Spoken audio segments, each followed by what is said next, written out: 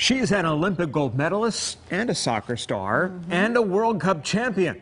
But Peachtree City native Kelley O'Hara still has a lot more that she wants to accomplish. And one of those things took her thousands of feet into the air today. Fox 5's Doug Evans was there moments after O'Hara finished flying with the Blue Angels.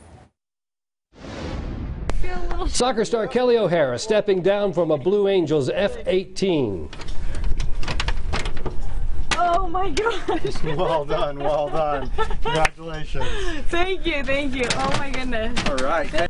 Now, some of the best defenders in the world have been no match against Kelley O'Hara of the U.S. women's national soccer team that won the World Cup last summer.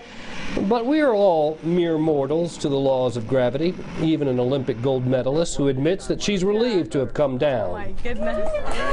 Yay. I didn't throw up. I didn't pass out. That was crazy. And even though she gave me the double thumbs up before her ride, she says she was a little nervous about going up. And then after I, you know, agreed to do it, I was like, oh no. now, I actually, now I actually have to go up there. So um, I was very nervous, very excited. The Blue Angels are in Atlanta for the Great Georgia Air Show this weekend. They'll perform both Saturday and Sunday. Kelley got a VIP ride, an experience she now shares with teammate Megan Rapinoe.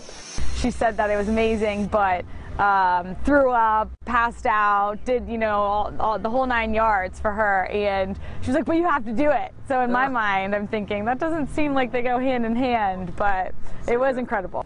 Flying should be in her blood. Her dad is a former Navy fighter pilot and now a Delta captain, and her brother is a fighter pilot in training. She's nervous, uh, the G's and the uh, stresses, and uh, so she's worried about throwing up. I think that's what she's worried about. Which should be everybody. Well, you know, you, know, you don't want to you don't want to mess up the Blue Angels airplane. No. I didn't throw up. I didn't pass out. That was crazy. Feeling very strange right now. The Great Georgia Air Show runs this weekend at Falcon Field in Peachtree City.